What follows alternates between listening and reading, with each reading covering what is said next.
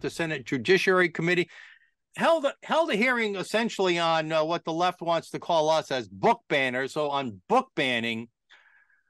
But I'll tell you what, Bill. After here, we'll we'll play some of the comments in a second. But after hearing some of the explicit words that are being put in front of our children, uh, maybe book banning after all isn't a bad idea. What do you think, Bill?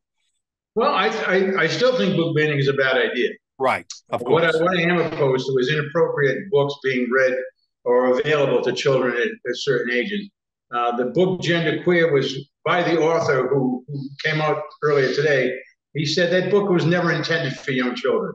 That book was intended for actually for parents to let them know about their child. But somehow the left has latched onto this book, brought it into the realm of, of, of young school age children, you know, fourth graders, sixth graders, and made it uh, made it a book that they can take out on their own at, at, at the at the request of nobody but the child or the librarian. And then they try to sell it to us as we, as the right trying to ban books. Well, we're not trying to ban books. What we're trying to do is to keep some books out of inappropriate places, and that's the misnomer there. I think we have to get off that banning book thing. Print the book all you want. Let the book survive on its own if it can, but let's not ban books at all. But stop telling me that I want to ban books because I don't want a book like that being in the front of a fourth grader. Yeah, it's just a fake fake news uh uh, That's full what it is. wordplay by the left. Of course, we have movie ratings, right? We have X rated, R rated that young kids can't see. Right. Essentially, that's what we're saying. These are X essentially X rated books, Right. and they shouldn't they shouldn't be in in public school libraries. That's up to parents if they want to show them. Uh, Ken, um, uh, we're gonna play the details in a minute. Ha- had you heard? Some of the detailed description in, in these books before you saw this video that we're about to play from Senator John Kennedy from Louisiana? Yes, I have, and I have my own comment on it. let's take two books that have been much discussed.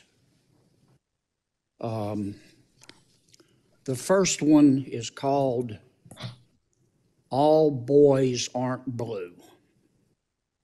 And I will quote from it. I put some lube on and got him on his knees. And I began to slide into him from behind. I pulled out of him and kissed him while he masturbated.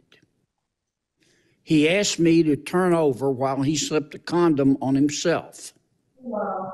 This was my ass, and I was struggling to imagine someone inside. All right, I, I'm not. You, get the gist. Uh, Yeah. on Yeah. and on, page after page. Um, Ken, uh, a prominent national guest I had on yesterday, James Lindsay, said that scenes like this have to be repeated in school committees, town councils, and other elected official chambers across America. We have to show them, not just tell them about it. We have to show them what's happening in our schools and our middle schools, even at this. Your comments, Ken McCourt. It's not about the First Amendment, freedom of speech. Each community establishes what they call a community standard for the definition of pornography. That's what this is. And as such, they determine what can and cannot be bought or sold in their community with certain physical guidelines, like not within 100 yards of a school, for instance but that there are laws that the individual states, the individual counties and towns have passed laws against pornography. That's what this is. And it's a perverted pornography also, so that there are laws on the books. We don't have to create any kind of new uh, congressional hearing or anything. There are already laws on the books that we're not stopping the banning of the books and stuff like that. We're not stopping it. We're just limiting its distribution. That's that's absolutely key.